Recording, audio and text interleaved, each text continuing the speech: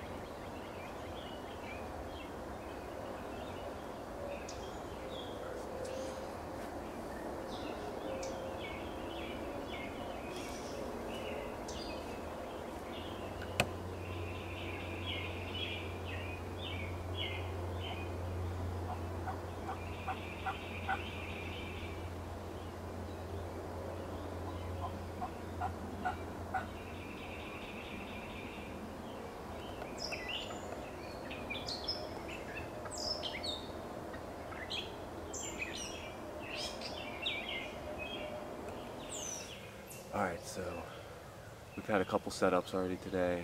I haven't heard anything yet, but past few days I've had to bring the reinforcements here, Big Poppy. So he's been calling for me because I couldn't get anything moving from that stupid blind. We've had some action, but nothing close. He could have shot a couple times at Jake's while we were walking around, but I couldn't get set up with the camera in time, and he didn't want to shoot a Jake. So if we see one today, I told him he better shoot it or we're fighting.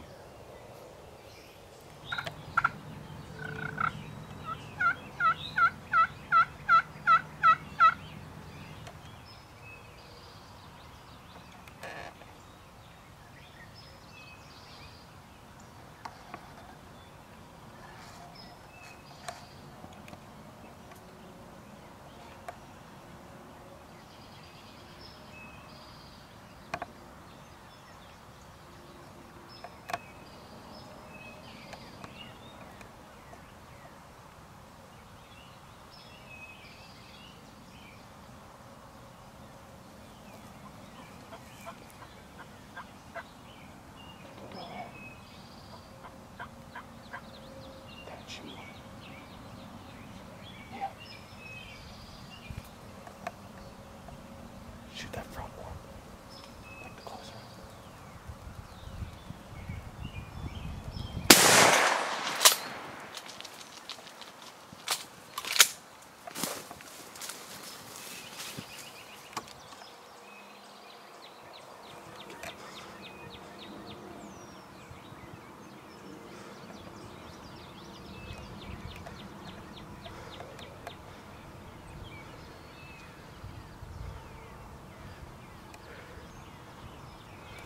Oh, crazy morning. Okay.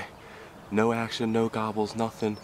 Uh, we were running gunning a little bit, crested the hill, and uh, we saw two turkeys, so we quick got back, tried to call, they didn't come up, so we scooted around. We were sitting here for a little while. Dad was calling and uh, nothing, didn't hear anything. I started coughing real bad, I've been sick for like three days real bad. So I was coughing, he was like, Ryan, shut up! And I look, he's like, there's turkeys and there's three three gobblers crested the hill and uh, they weren't gonna come in for the bow so I just told him shoot. And he blasted him. I gotta see how long this bird is. all the way to the snood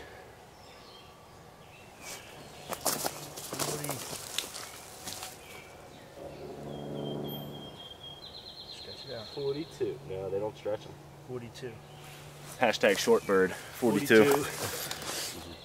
so um, Ryan, Ryan and I have been going out every every day and um, mostly in evenings, but we've had two morning hunts and, and we haven't been hearing the gobbles and we've been getting kind of frustrated. And so um, we, we were set up this morning. We didn't hear anything, so I kept running and gunning. I told him we're going to move today. We're going to go to different spots, and on our way back around, we saw a couple and ditched down, but they um, they must have caught us. So we went up to a spot where we were been calling, and we started calling, and I had a decoy out in front of me, and uh, I'm like, Ryan, Ryan, there's birds to our left, and he was having one of his coughing spells, and uh, the birds got a little sketchy, and their, their heads are popping up, and I go, Ryan, it's all Jake. Should I shoot one? He's like, yeah, shoot one. I can't get them. They're not going to come in. I said, I know, but I didn't want to shoot one. He goes, but you guys keep giving me such a hard time. If I don't shoot the Jake, you're going to beat me up, you and Hunter.